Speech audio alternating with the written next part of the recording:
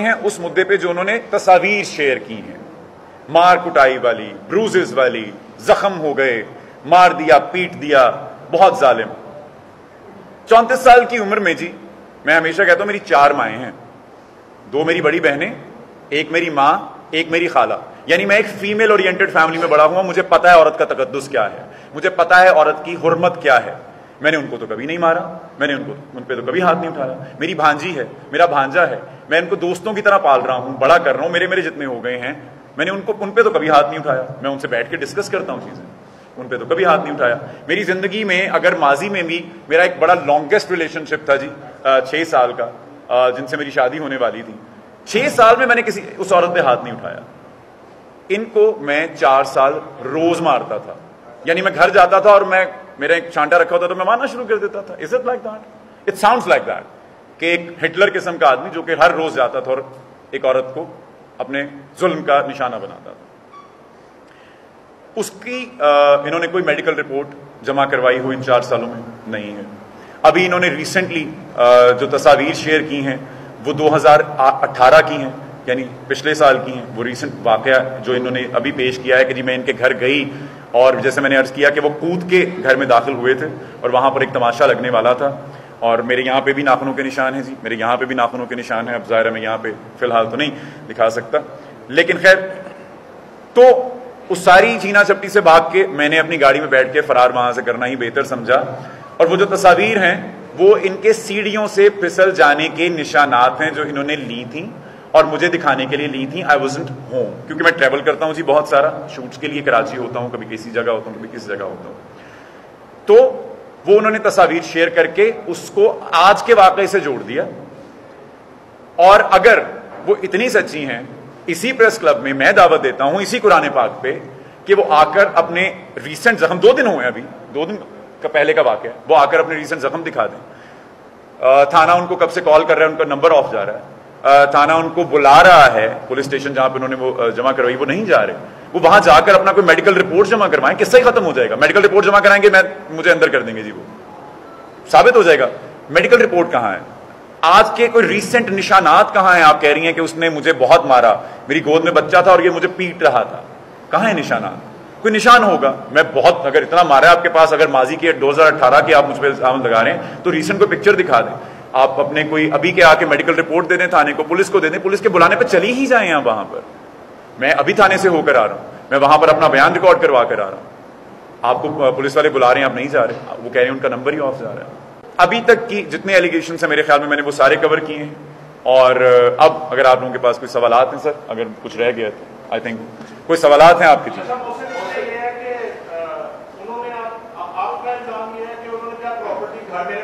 جی جی۔, جی وہ کہتی ہیں کہ مجھ سے مجھے پریشرائز کرتا ہے کہ مجھے ایک کروڑ یا ڈیڑھ کروڑ روپیہ لا کے دو میں نے کاروبار کرنا ہے ٹھیک ہے دونوں طرف سے ایک طرح کے الزامات ہیں۔ اصل کہانی بتائیے آپ۔ الزامات تو سے بہت سے لگتے ہیں۔ آپ مارتے رہے پیٹتے رہے وہ نبھاتی رہی اس وجہ سے وہ سامنے نہیں آئی اچانک سامنے آ گئی۔ یہ ماجرا کیا ہے؟ اصل کہانی تک اگر آپ پہنچ گئے تو ہمیں بھی ذرا کلیئر کر دیں تاکہ اصل سٹوری لوگوں تک پہنچ جائے۔ ادروائز تو ٹویٹر بھرا پڑا ہے سوشل میڈیا بھرا پڑا اس سے پہلے علی ظفر کے ساتھ بھی ہوا. علی ظفر آج تک کہتے ہیں کہ سب جھوٹ ہے. وہ عورت کہتی سب سچ سب سچ ہے اصل کہانی بتائیے جب قرآن پہ آپ ہاتھ رکھ کے پریس کانفرنس کر رہے ہیں اصل بات کیا ہے وہ کیوں کر رہی سر؟ سر میں نے عرض کیا کہ جیسے ہماری سیپریشن کو قریب پانچ سے چھ ماہ ہو چکے تھے. میں دس سال کراچی رہا اور اکیلا رہا. اپنی فیملی سے دور رہا میں. تو میں نے ایک بیچلر لائف گزاری، لیکن میں بڑا ایک فیمل اورینٹیڈ آدمی تھا جی میں ہمیشہ سے چاہتا تھا ایک فیملی ہونی چاہیے ہماری بندے کی۔ اور میں جب واپس آیا لاہور اور میں نے دنیا نیوز جوائن کیا تو مجھے بڑی خوشی تھی، میں پنجاب واپس آیا ہوں اور میں اپنے فیملی سے مل سکوں گا فیصلہ آباد جا کے۔ لیکن جب یہ شادی ہو گئی تو جیسے میں نے گزارش کی کہ چار سال میں ہم لوگ ایک سال میکسیمم ساتھ رہے ہیں۔ جس کا مطلب یہ ہے کہ میں پھر شادی کے بعد بھی بیچلر لائف گزار رہا تھا۔ ہم نے آلموسٹ تین سال پھر سیپریشن ہی گزاری. پھر میں اپنے کپڑے خود دھو رہا تھا، پھر میں باہر سے ہی کھانے کھا رہا تھا، پھر میں اپنی بیماریاں خود ہی ہنڈا رہا تھا، پھر میں اپنے مشکل وقت میں جو ہے وہ اپنے آپ کو خود ہی سنبھال رہا تھا۔ صبح اٹھ کے مطلب شادی انسان اپنی کمفرٹ کے لیے کرتا ہے، خوشی کے لیے کرتا ہے، گھر کے سکون کے لیے کرتا ہے، آپ کو گھر میں ایک دوسرا شخص نظر آتا ہے، پیار کے لیے کرتا ہے، محبت کے لیے کرتا ہے، بچوں کے لیے کرتا ہے، ایک جنت کے لیے کرتا ہے کہ گھر آپ کا حسین ہو جائے، آپ کا گھر جانے کو دل کرے۔ گھر جانے کو دل تو کجا، میں تین تین گھنٹے آفس سے نکل کے گھر کے باہر گاڑی چلاتا رہتا تھا، کیونکہ گھر جہنم تھا اور میں وہاں نہیں جانا چاہتا تھا، کیونکہ وہاں کوئی نہ کوئی بحث نکال کے رکھی گئی ہوتی تھی، کوئی نہ کوئی جھگڑا کرنے کے لیے تیار بیٹھا ہو جاتا تھا۔ اچھا جی اصل کہانی سر جب وہ سیپریشن ہو گئی تھی اور میں نے ارض کیا کہ میں ایک عرصے سے پھر بیچلر لائف ہی گزار رہا تھا، تو میں اس مدے پہ پہنچا کہ اب جب بچہ ہو گیا تو پہلے ہم نے میں نے میں نے سوچا اور انہوں نے بھی یہ سوچا کہ انہوں نے کہا میں خلا فائل کر دیتی ہوں، کیونکہ ہم ساتھ نہیں رہ پا رہے، ہم ناخوش ہیں۔ پھر ہم نے یہ سوچا انہوں نے بیچ میں وہ خلا کو ڈیلے کر دیا۔ میں نے سوچا، میں نے اپنے گھر والوں کو کہا کہ ہم طلاق جو ہے وہ کر دیتے ہیں۔ پھر بچہ ہو گیا کیونکہ تب تک میں ان کو نہیں ڈائیورس دے سکتا تھا پیپرز ور ریڈی لیکن میں نہیں دے سکتا تھا۔ پھر بچے کے بعد میں اس لیے رک گیا کہ میرے سامنے بیٹے کی شکل آتی تھی۔ میں نے کہا چلے ہم ایک کام کرتے ہیں، ہم سیپریشن کال کر لیتے ہیں۔ مستقل سیپریشن کال کر لیتے، نہیں رہنا نا نہیں گزارا ہوتا۔ بہت ٹاکسک ہے وائبس بہت بری ہیں، ساتھ آتے ہیں تو جھگڑے شروع ہو جاتے ہیں، سامنے آتے ہی ٹھیک ہے، مان لیتے ہیں، تسلیم کر لیتے ہیں سیپریشن کال کر دیتے ہیں، مستقل تا عمر سیپریشن کال کر دیتے ہیں۔ ڈائیورس نہیں دیتے، کل کو بچے کو کیا بتائیں گے؟ ان کو اس کو پتا ہوگا کہ اچھا آتے ہیں، ابا ملتے ہیں اور چلے جاتے ہیں، کیونکہ ابھی بھی یہی ہوتا تھا، میں گھر کے ان کے باہر گاڑی میں کھڑا ہوتا تھا، بچے کو ملتا تھا، اپنے اور گاڑی میں ہی واپس آ جاتا تھا۔ تو وہ اس بات پر بھی آمادہ نہیں ہوئی۔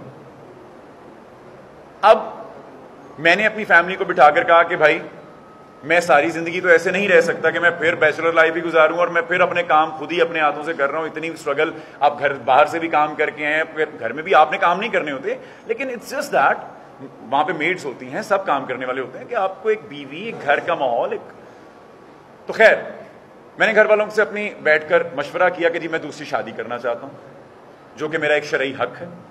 اس ملک کا قانون مجھے اجازت دیتا ہے، اس میرا مذہب مجھے اجازت دیتا ہے، اور میری اپنی فیملی سے بات کی، میں نے اپنی، میری فیملی نے کچھ میرے سامنے آپشنز رکھے، اور انہوں نے کہا، ظاہر ہے، تمہاری زندگی ہے، تم نے فیصلہ کرنا ہے، تم رہنا چاہتے ہو، تم بالکل رہو، کیونکہ انہوں نے یہ سارے تماشے دیکھے تھے، کبھی فیصلہ آباد میں، کبھی لاہور میں، ان کو پتا تھا کہ ان دونوں کی نہیں نب رہی۔ کسی بھی وقت ٹوٹ سکتی ہے، نہیں ٹوٹے گی تو یہ سیپریشن ہی رہے گی، اور وہ وہاں پہ اکیلا ہی رہتا ہے، ظاہر بہنیں کال کر کر کے پوچھتی تھی، کچھ کھایا ہے، کچھ کیا ہے، اکیلا ہے وہاں پہ، خیر۔ تو میں نے ان سے اپنی خواہش کا اظہار کیا کہ سر یہ نہیں چل رہا، میں یہ چاہتا ہوں۔ انہوں نے کہا سو بس ملا میں نے اپنی پسند بھی ان کے سامنے رکھی۔ میں نے جب یہ بات آ کر ان سے کی، فاطمہ سہیل صاحبہ سے، تو یہ بھڑک اٹھی۔ اس چیز کا انہوں نے یہ تماشا لگایا کہ یہ تو میں ہونے نہیں دوں گی۔ وہ ان کی اندر کی جیلسی تھی، کوئی انسیکیورٹی تھی۔ وہ میں نے ایک فلم میں سنا تھا کہ کھاجا کھانا بھی نہیں ہے اور پتہ نہیں کیا نہیں کرنا، اس طرح کا تھا کہ مجھے چھوڑنا بھی نہیں ہے اور ساتھ بھی نہیں رہنا۔ نہیں ہے اور ساتھ بھی نہیں رہنا۔ تو اب اس بات پہ وہ بھڑکی اس کے بعد ایک انٹرویو میں، ریسنٹلی ایک ٹی وی انٹرویو میں مجھ سے یہی سوال کیا گیا کہ جی آپ کی نجی زندگی کے بارے میں بہت سننے کو ملتا ہے، آپ کی دوسری شادی کے بارے میں بہت سننے کو ملتا ہے۔ میں نے کہا، جب ہوگی تو جی خبروں میں آ جائے گی۔ اور نجی زندگی کے بارے میں آپ پوچھ رہے ہیں تو بس چل رہی ہے۔ تو یہ بات بھی ان کو گراں گزری کہ آپ نے سوشل آپ نے ایک چینل پہ آ کے یہ بات کی ہے۔ جبکہ آپ میری پرسنل باتیں قرآن پہ ہاتھ۔ یہ میری پرسنل باتیں انڈسٹری میں مجھے لوگ میرے ساتھ کام کرنے سے انکار کر دیتے تھے جی۔ اس وجہ سے کہ میری بیگم جا کر میری پرسنل باتیں، میرے گھر کی پرسنل باتیں لوگوں کو بتاتی تھی۔ جھوٹ، سچ، جیسے میں نے پہلے عرض کیا کہ ان کو ایک ہے عادت جھوٹ بولنے کی یا ادھوری کہانی سنانے کی۔ بہرحال، تو جب میں نے ان سے اظہار کیا تو ان کو وہ ٹیلی ویژن انٹرویو بھی جو احسن خان کا شو ہے جو میں نے کچھ عرصے پہلے کیا تھا۔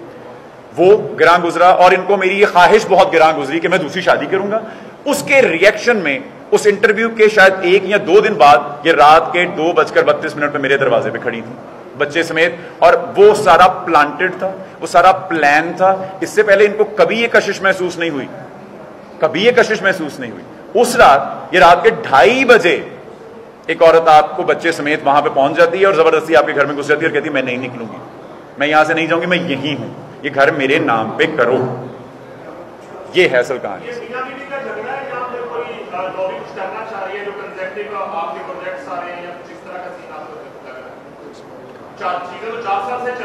جی جی۔ سر ان کو ایکسپلائٹ کیا جا رہا ہے۔ اس کے پیچھے کون لوگ ہیں؟ یہ خود بھی جانتی ہیں وہ۔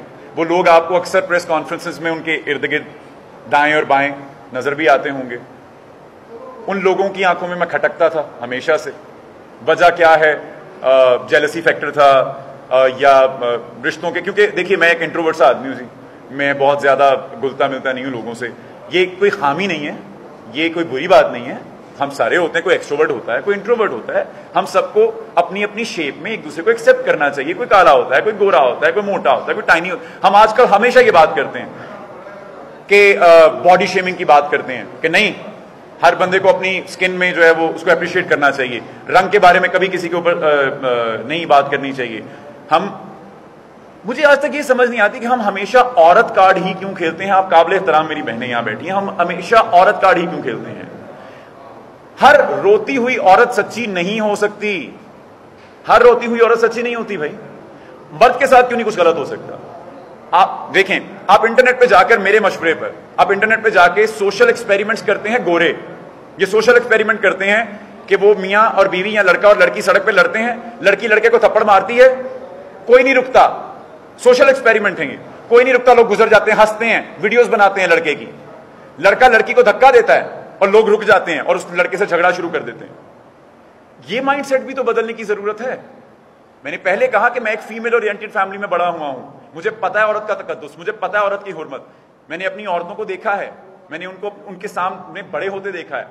میں نے ان کے پردے دیکھے ہیں، میں نے ان کی چادریں، ان کی چار دیواریاں دیکھی ہیں۔ مجھے پتا ہے، میں ایک سید فیملی سے ہوں، وہاں کی عورت کا کیا احترام ہے۔ ہر عورت میرے لیے اسی وجہ سے قابل احترام ہے، کیونکہ میری ماں نے بتایا کہ عورت کیسے قابل احترام ہوتی ہے۔ الحمد للہ جی سر۔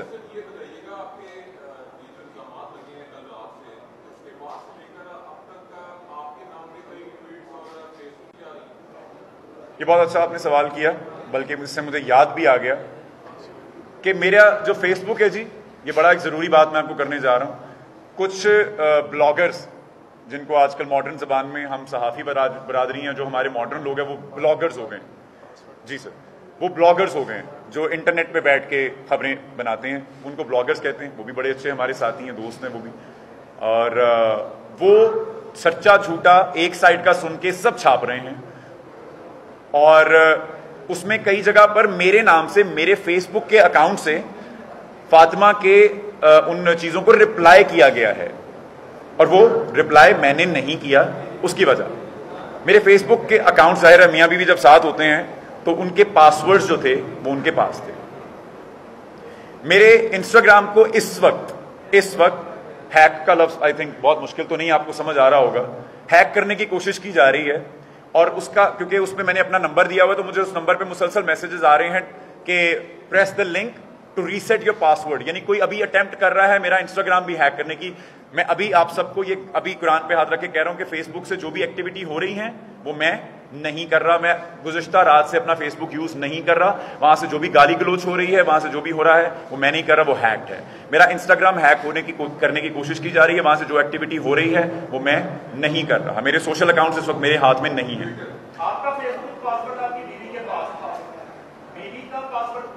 نہیں سر۔ نہیں شادی کے بہت اوائل میں شاید کبھی ایسا ہوا ہو ہم نے ہنستے کھیلتے لیکن پھر انہوں نے چینج کر لیا۔ اچھا، دیکھیے نازش جہانگیر جو ہیں وہ فاطمہ سہیل چودھری جو ہیں میری جو بیگم ہیں ان کی بھی بڑی اچھی دوست رہی ہیں۔ اور اس چیز کے ثبوت اگر وہ فاطمہ ان ثبوتوں پہ آئیں گی تو ان ثبوتوں پہ ہم بھی آ جائیں گے۔ وہ میری بھی کلیگ ہیں ان کے ساتھ ہم ڈسکس بھی کرتے تھے پروجیکٹس ڈسکس کرتے تھے۔ ان کے ساتھ مجھے جس افیلیشن میں جوڑنے کی کوشش کی جا رہی ہے، جس زمن میں جوڑا جا رہا ہے، وہ جب وقت آئے گا تو اس کو ہم کلیئر کر لیں گے۔ اگر وہ اس بارے میں اس طرف سے آنے کی کوشش کریں گے، کیونکہ وہ بالکل ایک الگ مدعا ہے۔ انہوں نے ایک عورت کے اوپر ایک الگ ایلیگیشن لگایا ہے، جس کو سر، وہ ٹرمنالوجی کیا ہے ہماری؟ قذف قذف جو ہے قانونی زبان میں اس کو کہتے ہیں۔ اور ان کے فاطمہ سہیل اور ان کے جو بھی احباب ہیں، ان پہ ہم قذف کا کیس کر سکتے ہیں۔ جب وہ کسی کے اوپر ایسے بے بنیاد الزام لگائیں گی کہ وہ میں کسی کے ساتھ نازیبہ حرکات کرتا ہوا پکڑا گیا ہوں۔ اور ایک اور بات واضح کرتا چلوں میں آپ کو یہاں پہ۔ جو انہوں نے اپنے فیس بک پہ پوسٹ کیا ہے کہ جب بیٹا پیدا ہوا تو میں اس وقت اس خاتون کے ساتھ رنگ رلیاں منا رہا تھا۔ میرے ڈرامے کے پروڈیوسر نے، جن کا نام شہریار ہے، ہم ٹی وی میں وہ ہوتے ہیں، انہوں نے اس کے نیچے جا کے کامنٹ کیا ہے کہ محسن بھائی جس وقت ان کا بیٹا پیدا ہوا، ہمارے ساتھ دوپہر میں اس وقت اس لوکیشن پہ شوٹ کر رہے تھے۔ سڑک پہ کھڑے، یہاں پہ شوٹ کر رہے تھے اور جب ان کو یہ خبر ملی تھی، انہوں نے سب سے پہلے ہم سے ہی شیئر کی تھی، وہ کسی عورت کے ساتھ نہیں تھے۔ بیٹا ہمارا جی ایک مہینہ ہو گیا اس بات کو اور پندرہ دن ہو گئے آلموسٹ یعنی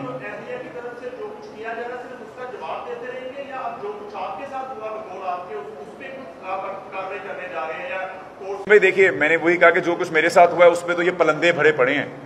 میں نے ہمیشہ کہا تھا ان کو کہ آپ تب تک سچی جب تک میں چپ۔ یعنی کہ میں کسی کانفیڈنس ہی کہتا ہوں گا نا جب یہ میں جملہ استعمال کرتا ہوں گا کہ آپ تب تک سچی ہیں تب تک میں چپ ہوں۔ کیونکہ جس دن مجھ پہ باری آئے گی نا، تو میں تو قرآن پہ ہاتھ رکھ کے کہوں گا، آپ اگر سچی ہوں گی، آپ بھی قرآن پہ ہاتھ رکھ دیجیے میں تو پورے وسوخ سے آ کے برملا ببانگے دوہل سب کے بیچ میں آ کے کہوں گا کہ ہاں بھائی یہ تھا۔ تو یہ پلندے پڑھنے بیٹھ جاؤں گا کہ میرے ساتھ کیا کیا ہوا، کیا کیا نہیں ہوا، میں دوسری شادی کی نوبت کیوں آئی؟ اس کا تھوڑا سا آپ کو ٹریلر میں نے بتا دیا۔ باقی اگر آپ چاہیں تو آپ یہ اور آگ لے سکتے ہیں۔ میں کیا کروں گا؟ میں، دیکھیے، میں نے پہلے عرض کیا کہ عزتیں اچھالنے کا رواج، عزتیں اچھالنے کا رواج۔ خدا کی قسم میں نے نہیں سیکھا۔ خدا کی قسم میں نے نہیں سیکھا۔ خدا کی قسم میں نے نہیں سیکھا۔ نہ اپنے گھر سے، نہ میری تربیت میں ایسا ہے، نہ میں نے دس گیارہ سال کراچی میں اکیلے رہ کے یہ سیکھا ہے کہ عورت کی عزت اچھال دو، اس کی دو کوڑی کی کر دو۔ نہیں، میں نے کبھی نہیں کیا۔ ہمارے جھگڑے ہوتے تھے، ہمیشہ گھر میں رہتے تھے، ہمیشہ ان کی طرف سے اپنے گھر میں فون ہوتا تھا یا سوسائٹی میں جا کر دوڑ لگ جاتی تھی اور جا کے چلانا شروع کر دیا جاتا تھا ان جھگڑوں کو سب کے بیچ میں۔ میرے جھگڑے اس چار، دیکھیے، میں نے تو یہی سیکھا تھا کہ جی باہر جا کے ٹھڈ ننگا نہیں کرنا چاہیے۔ گھر کی گل گھر چ رہنی چاہیے۔ وڈیا بیٹھ کے سلجھانا چاہیے۔ کسی وڈے نو پا کے یو نو آل دس تو میں اس اولڈ سکول پرانے خیالات کا مالک ہوں، اگر آپ لوگ یہی کہہ لیں مجھے۔ لیکن میرے خیال میں جی پرانے خیالات بہت اچھے تھے، اس بات سے کہ آپ جا کر لوگوں میں ڈنڈورا پیٹیں اور کسی کی عزت اچھالے اور ان پہ بے بنیاد الزام لگائیں۔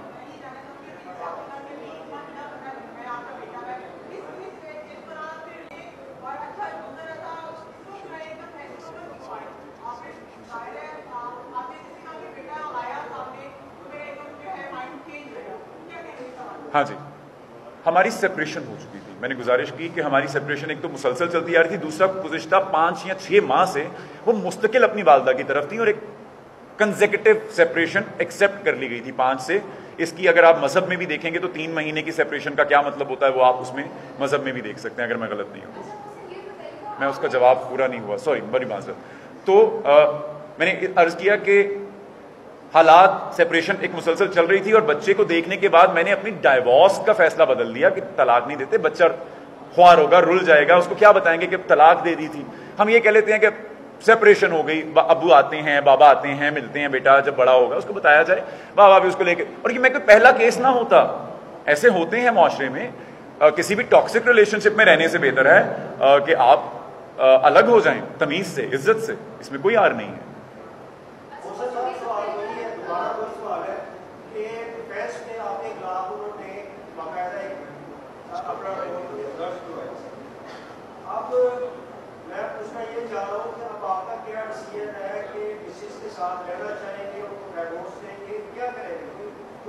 جی جی جی میں میں جی میں میں بتا دیتا ہوں۔ سر، میں ابھی میں نے جیسے عرض کیا کہ میں آیا ہی تھانے سے ہوں ڈائریکٹلی میں بھی تھانے سے آیا ہوں اور میں انہیں ان کی اس رپورٹ کا ہی جو انہوں نے میرے خلاف کروائی ہے، شاید اسی کا جواب دے کر آیا ہوں۔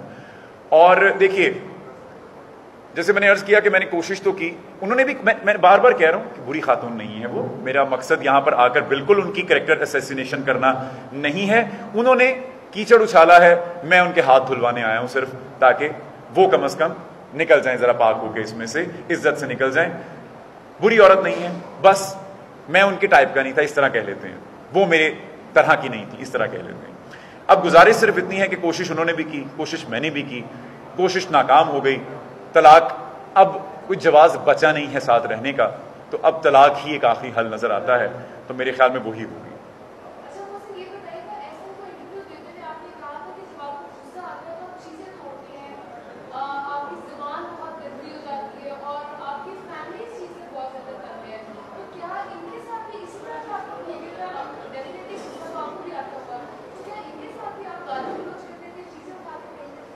اس کا، میں نے ابھی اس کا جواب شاید نہیں دیا۔ اچھا جی میں نے بالکل جس انٹرویو کا آپ ذکر کر رہی ہیں، اسی انٹرویو کا ریئیکشن یہ جو تصاویر آئی ہیں نقلی، یہ بھی اسی زمن میں تھی۔ خیر، اسی انٹرویو میں میں نے بالکل مجھ سے پوچھا گیا کہ آپ غصہ آتا ہے تو کیا کرتے ہیں؟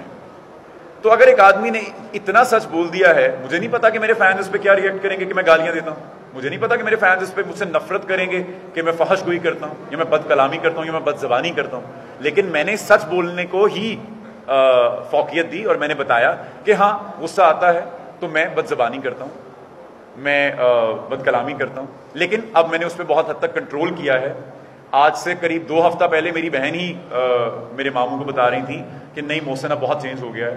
ہم نے اس کو اب غصہ بہت دیکھا ہے، بہت برداشت کیا، لیکن اب محسن بہت کام ہو گیا، اب ہر بات پہ غصہ نہیں کرتا، بہت ٹھنڈا ہو گیا ہے۔ تو اب میں اپنے آپ کو تبدیل بھی کر رہا ہوں، کر چکا ہوں۔ اور اب بہت حد تک ایسی حرکات سے میں گریز ہی کرتا ہوں۔ ہاں short term short temper issue تھے میرے۔ غصہ آتا ہے۔ دیکھیے، میں نے گزارش کی، جب جھوٹ پکڑا جاتا ہے نا، تو غصہ تو آتا ہے۔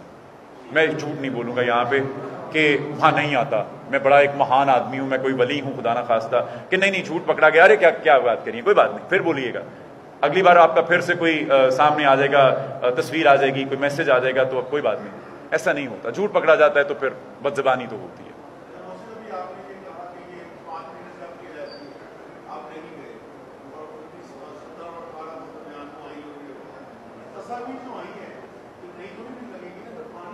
جی جی جی جی۔ جی جی۔ کیونکہ انہوں نے نہیں نہیں نہیں نہیں سر، انہوں نے انہوں نے جو فیس بک پہ مینشن کیا ہے انہوں نے فیس بک پہ مینشن کیا ہے کہ میں سولہ اور سترہ کی رات کو وہاں پر گئی اور اس نے مجھے مارا۔ انہوں نے اس ریسنٹ یعنی پرسوں چوتھ کے واقعے کی مار پیٹ کا ذکر کیا ہے۔ انہوں نے اس واقعے کا ذکر کیا۔ تو میری گزارش یہ ہے کہ اگر آپ کو اتنا ریسنٹلی مارا گیا ہے تو آپ پلیز میڈیکل رپورٹ دے دیجیے۔ آپ وہ نشانات آپ نے دو ہزار اٹھارہ کے نشان بھی جھوٹے سچے دکھائی دیے نا۔ تو آپ ابھی بھی دکھا دیں۔ ٹی وی پہ آ کے دکھا دیں کہ یہ دیکھیں مجھے بہت مارا ہے۔ میک اپ نہ کریے گا میں تیرہ سال سے اس فیلڈ میں ہوں۔ مجھے پتا ہے کہ وہ نشان کیسے بنتے ہیں۔ ہم بڑی ایکٹنگ کرتے ہیں یہ سب کٹ لگا کے گولی کیسے بنتی ہے مجھے سب پتا ہے۔ میک اپ نہیں